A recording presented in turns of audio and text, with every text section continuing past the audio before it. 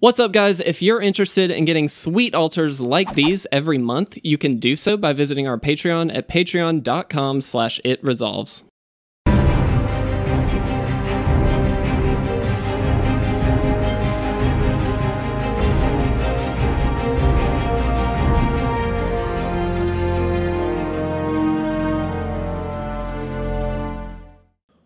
What's going on, guys, and welcome to another episode of the Crack a Pack series. I hope you all are doing very, very well today. I am very excited because today we are opening up a pack of Dragons of Tarkir, which is not the most amazing set in the world, if I'm going to be honest, but there are still some very, very good cards in here. The Dragon Lords in particular are all very, very powerful. Uh, lots of really cool stuff. So, uh, as always, we're going to go through this as if it is a pack one, pick one scenario. So, we'll go through every card, hopefully, be able to figure out what our pack one, pick one would be if we were drafting this. Uh, and hopefully we'll get to look at some of the cool mechanics and things like that that were in this set. So our first card here, Champion of Arashin, I hope I'm saying that correctly, is a 3-2 for 3 and a white with lifelink. Honestly, a pretty straightforward card. Uh, I don't think it's really all that good. It's a little bit low on the stats for a 4-drop. There's a lot more powerful things that you could probably do at 4 uh, in this set.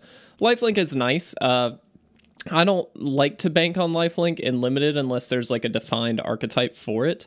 Uh, and definitely Jeskai has a little bit of lifelink in it, but uh, Jeskai being the uh, the white, blue, red uh, con here. So, but regardless, it's not really the biggest theme in the world. It's just kind of a sub theme. So it's not super exciting in my opinion. Definitely not something I'm looking at first pick.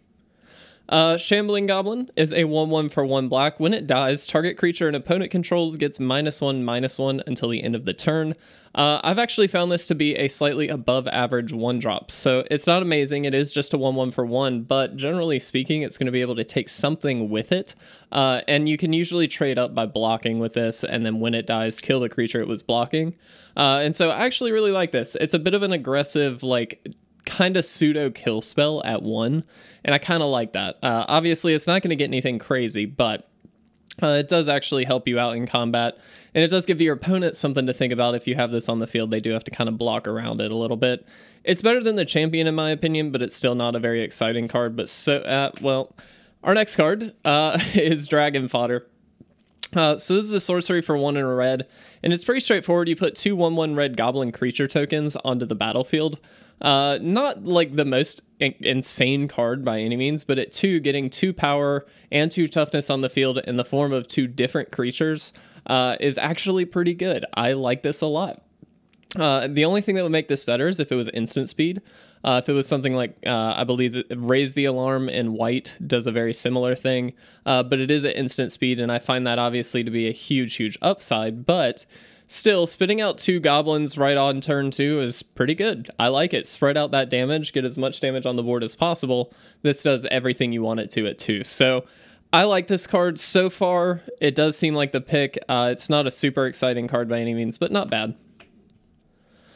Uh, Glaring Aegis uh, is an enchant creature for one white. When it enters the battlefield, tap target creature an opponent controls, and then the enchanted creature gets plus one, plus three. Um, Honestly, you guys know my opinion on enchant creatures. This one is fine, but not amazing. Uh, being able to tap something down, pretty good. Uh, that does mean that you're probably going to get in for combat at least on the turn that you play this. Uh, and then pumping up a little bit is fine. It's obviously a much bigger boost to toughness than power. I'd kind of prefer it to be the other way around.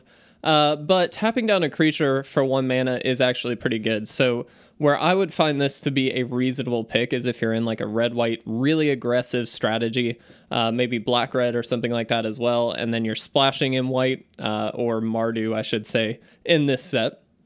Um, if you were really, really looking to be aggressive, this helps you be aggressive because it taps down the creature, which taps down a blocker, which means you're more than likely able to swing in, at least with a few creatures.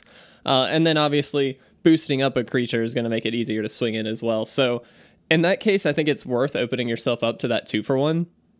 In general, not a super exciting card, though, not something I'm looking to uh, first pick by any means. Uh, Servant of the Scale is a 0 0 for 1 green. It enters the battlefield with a plus 1 plus 1 counter on it. Uh, and when it dies, put X plus 1 plus 1 counters on target creature you control, where X is the number of plus 1 plus 1 counters on Servant of the Scale. So if you buff this up with a bunch of counters and then it dies, you actually get to move them over uh, to another creature you control, which is pretty good.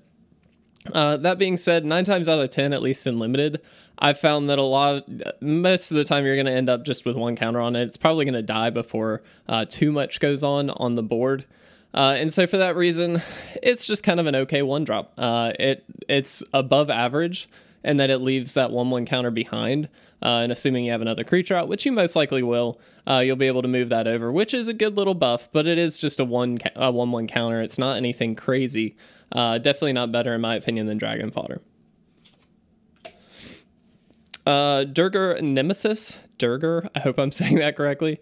Uh, is a 6 5 4 5 in a blue. It has a Defender and it has Megamorph.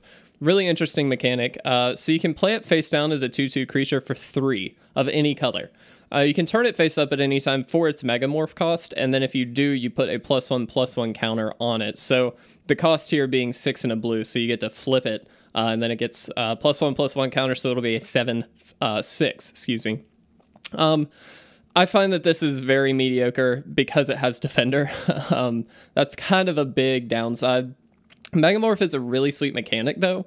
Uh, and on certain cards, it's insanely, insanely good. Uh, being able to surprise something out like that is really, really powerful. Uh, generally speaking, the rule was in limited uh, with this set. If you found yourself up against a morph uh, card, you want to kill the morph card pretty quickly, uh, just because you have no clue what it could be. They all cost three to play face down, and if they can flip them, they generally have some kind of very good, very strong ability. Uh, in this case, not really so much, but in some cases, definitely. Uh, I find this card, though, in general, to be very mediocre, not something I'm interested in. Uh, Fate Forgotten is an instant for two and a white, exile target artifact or enchantment. This is a very straightforward card definitely, definitely a sideboard card. Anything with artifact or enchantment hate tends to be more sideboard. Uh, but if you're in white and you happen to uh, to late pick this, I think it's great just have access to, if nothing else. Uh, Kirin is a 2 1 for 2 and a white. It has flying and vigilance, and then also has Megamorph. Uh, in this case, the cost is 1 and a white to flip it face up. Uh, this card is very, very good. Uh, I definitely think better than Dragon Fodder. Uh, the flying and vigilance just means it's evasive. It's going to be getting in for damage most likely. The megamorph means it can be getting in for more damage than you initially thought. So I like that for all reasons. Definitely a very solid three drop. It's not a game changing card by any means, but it is a pretty solid one. Uh, Taigam's Strike is a sorcery for three and a blue. Target creature gets plus two plus zero until the end of the turn, and it can't be blocked this turn.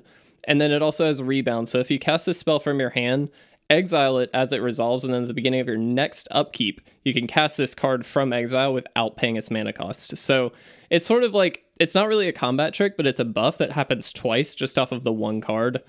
I still don't think it's really that great. Uh, it is fine. I think in in limited, it's definitely at its best, just because you can throw it onto some big creature, make it unblockable, swing in, and then do the exact same thing the next turn. Uh, it is pretty powerful in that regard, but it's not super exciting. I don't think that this is a card that I would be looking to play very often. I don't know if that's incorrect or not. I drafted this a little bit, not a ton, so I don't. I never got the opportunity to play with this. Uh, so tell me in the comment sections if I'm wrong, but I don't think that this is the most amazing card in the world. Uh, Summit Prowler is a 4 3 for 2 and 2 red vanilla creature, not super exciting. You would take this for curve consideration, obviously, if you need some four drops. This is okay. It's a 4 3 for 4, so it's a little understated, but it's not terrible. Uh, but it just doesn't do anything other than be a 4 3. And that's not super exciting in draft. It doesn't do that much. But again, if you really need that curve consideration, which is one of the most important things you can do in draft, definitely take it. Uh, it's definitely worth it in that case.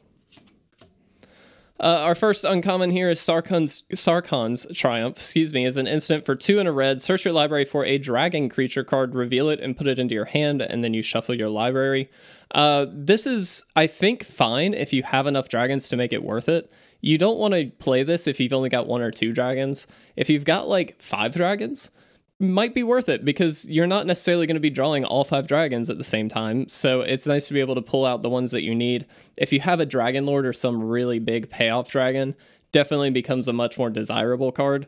However, you don't want to take this card before having the dragons. I just don't think it's worth it. It ends up being a dead card if you don't have enough at all. So I don't like this card very much unless you're already there with the dragon stuff. Uh, Draconic Roar is an instant for one in a red. As an additional cost to cast it, uh, you can reveal a dragon card from your hand. It deals 3 damage to target creature, but if you revealed a dragon card or control a dragon as you cast it, it deals 3 damage to that creature's controller as well. This is just really, really efficient removal. Uh, not only is it 3 damage at instant speed, but potentially uh, it's 3 damage to that creature's controller as well, all for the same cost. Obviously, it gets a lot better if you have the dragons, but you don't actually have to have them to make this good. This is just really efficient regardless. So, honestly, so far, I think this is the pick. Uh, it's just such a powerful, uh, efficient removal spell that it's really hard to go wrong. Uh, Orator of Ojutai uh, it's a 0 4 for 1 and a white. As an additional cost to cast it, you can reveal a dragon card from your hand. It has Defender and Flying, and when it enters the battlefield, if you revealed a dragon card or controlled a dragon card as you cast it, you get to draw a card. Uh, this is fine. It's a stall card. Uh, you can play it out early. It's going to be able to block no matter what, which is great. Uh, and then potentially draw you a card, also pretty good. I think the Roar is better. Uh, it's just more aggressive. Uh, this, assuming you have some dragons, though, is actually a very good card. I think in general it's fine, but not amazing. Uh, it's still just a 0 4 defender, so it is just a stall card. But drawing cards off of stuff like that is very nice. Uh, and then our rare is Illusionary Gains. So 3 and 2 blue for an enchant creature. You control the enchanted creature. And then whenever a creature enters the battlefield under opponent's control, attach Illusionary Gains to that creature this is a bit of a risky card. So if they've got something powerful out and you can win the game on the spot, it's amazing because you can steal that, swing in with it, do a lot of damage. It's great for that. However, it's very easy for the opponent to just play something very low costed uh, and then not play anything else uh, if they really don't want to. So it's a little bit scary. Like they have to play around it, which is a problem for them. But um, it's also pretty easy to play around. Uh, that might be an incorrect assessment, but that's just kind of my thoughts on it on the onset. I didn't get to play with this one, so I don't know if it's amazing or not. Uh, but in my opinion, I don't think it would be that good. I would rather just have Draconic Roar. Uh, please, of course, let me know in the comment section if you feel that's incorrect. But uh, I do think that I would just pick the Roar here. I think it's the safest pick. It's just, it leaves you open, it's efficient. Uh, removal is always very, very important. So that's definitely what I would pick. Feel free, again, to, to let me know in the comment section below if you disagree. I'm happy to talk about that. But if you liked this video, please make sure to leave a like or a comment down below. And as always, please make sure to subscribe to stay up to date on all of our awesome content. But with that, I'm going to get out of here. Thanks so much for watching, guys. I'll see you in the next Crack a Pack episode.